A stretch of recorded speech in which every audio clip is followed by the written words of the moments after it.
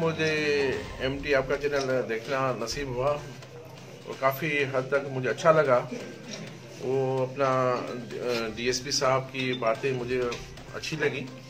इस तरह के प्रोग्राम होने चाहिए, क्योंकि आवाम में ऐसे प्रोग्राम अगर ज़्यादातर आएँगे तो लोगों में शोर बढ़ेगा और क्राइम का भी पता चलेगा कि क्राइम बढ़ रहा है कि कम हो रहा है।